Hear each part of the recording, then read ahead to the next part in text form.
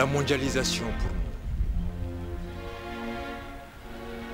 elle n'est juste que la préparation des conditions d'assassinat des peuples en réalité. Je crois qu'il y a une, un espèce de, peut-être de révolution, si tu veux, à faire dans la, la ce que j'appellerais la conscience politique. Nadie va venir a hacer la revolución por nosotros. La revolución está en nosotros mismos. We need to take over the political systems. C'est une question de survie, c'est pas une question de goût, c'est pas une question de choix.